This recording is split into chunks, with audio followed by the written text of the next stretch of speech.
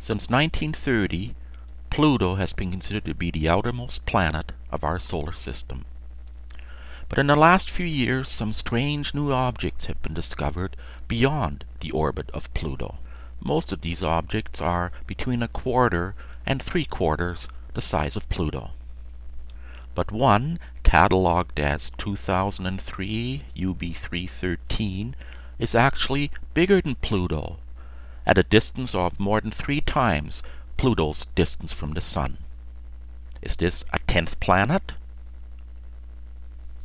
Let's look at the solar system edge on, where all the major planets up to Neptune lie in the same straight line.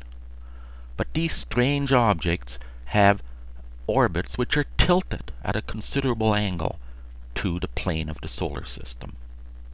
Come to think of it, so is Pluto's orbit. Does that make Pluto a planet? Do we have only eight major planets? astronomers still haven't made up their minds. What do you think?